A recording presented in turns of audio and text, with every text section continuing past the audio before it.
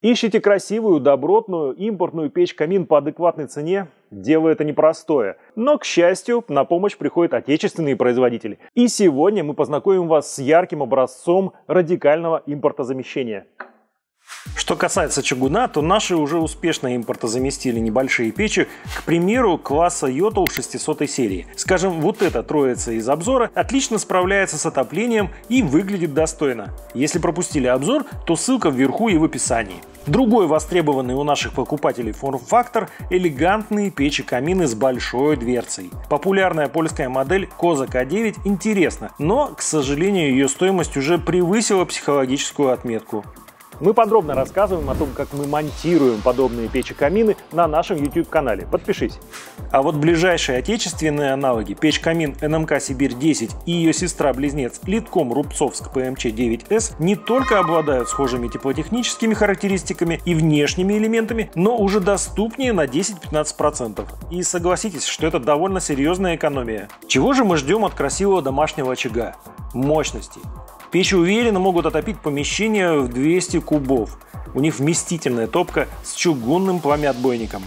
Большая красивая дверца со стеклом? Да. Более того, по бокам есть боковые вставки, визуально существенно расширяющие обзор пламени. Две створки, внизу и вверху. Нижняя отвечает за подачу воздуха на горение, верхняя за обдув стекла, чтобы оно оставалось всегда чистым.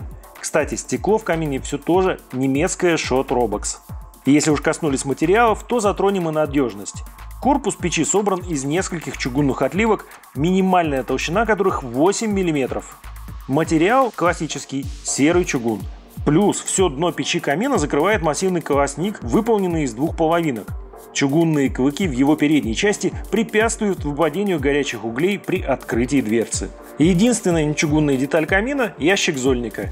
Здесь же внизу есть зольная полочка, значение которой многие недооценивают. Благодаря ей пол под печью при обслуживании останется чистым. Печь подключается к дымоходу с диаметром 150 мм. Патрубок по умолчанию установлен сверху, но его можно переставить на тыльную сторону печи, поменяв местами с заглушкой. Как таковой плиты для приготовления нет, но и это все-таки интерьерно-отопительная печь-камин.